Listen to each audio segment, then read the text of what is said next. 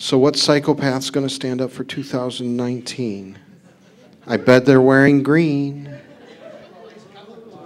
It's Kermit the Bid. Absolutely. All right. Uh, for 2018, you have five minutes for presentation time. Is there any? Sorry, for 2019, you do not have 19 minutes. You still only have five minutes. Um, do you have a video presentation or is it you? PowerPoint? just Okay. PowerPoint. So 2019 for Dublin, Ohio, go. Dublin, Ireland, I should say. First off, thanks very much indeed for giving us the time to speak this evening. It's absolutely fabulous to be here in Texas. Last time I was here, I was with an area head working on a Worldcon, and it's just great to be back here now, presenting a Worldcon bid, bringing it back to my hometown, my home country of Ireland.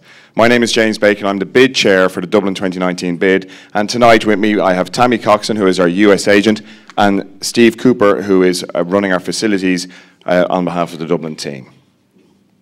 Next slide, please. Been a great couple of years since we launched at Loncon. At this point, we have 850 supporters, 150 of which are at the friend or higher level.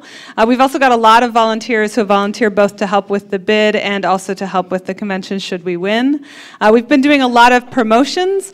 In, within Dublin, we uh, gave away 3,000 books to fans at the Dublin Comic Con, which was held at our uh, facility, which is the Convention Center Dublin. We've also been present at a lot of uh, the all the major Irish conventions where we gave away cake, which people really appreciated.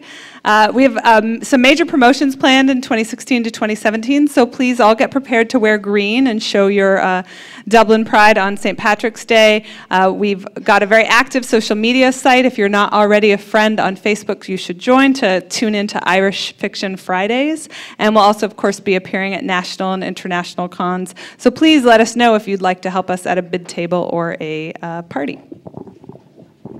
Uh, next slide.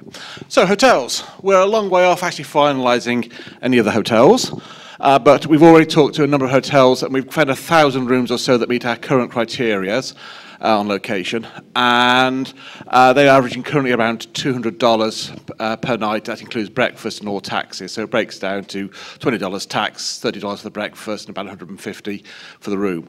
Um, we, but we're also conscious of price, and we have a lot of East Europeans who need to come to the convention, and so we're also looking at a lot of budget accommodation. And we've got the, currently got the equivalent of another 300 rooms in budget accommodation of uh, apartments and university accommodation, and that averages at about 60 60 dollars uh, per night per person. Next slide.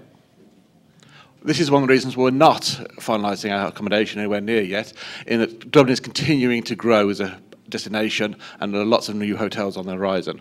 We already know of about three that are in the planning works.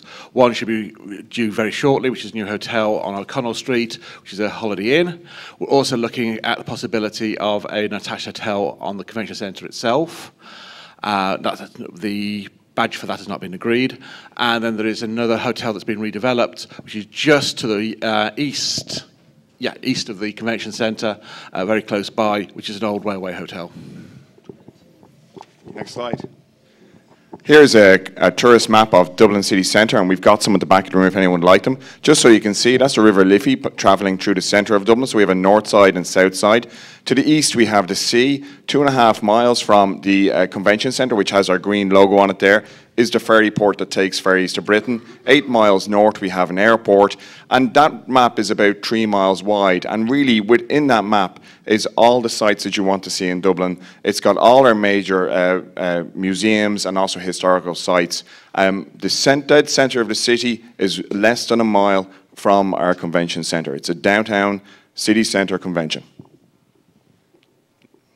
Yeah, Next slide. right, the uh, convention centre. Uh, it's a beautiful new build. I'm not sure exactly when it was first built, but it's only been 2010, so it's only been open for four, four or five years. It's a beautiful site. Um, we've got more program space uh, than Loncon had, actually, from what I've worked out. Um, the auditorium may be a little small, but we have an idea to extend that into another space that will give you a choice to make, a very hard choice for some of us. Um, and that's about it. It's great flexibility. It's a new centre. It meets all the Irish and European uh, accessibility um, regulations. There's not much more to say about that, really. Oh, I should say one last thing. Uh, my chair's very excited about this. We are currently in the midst of uh, agreeing a sliding scale for the actual hire. So we'll get the whole convention centre for, for a price that will be dependent on our membership. Next slide, please.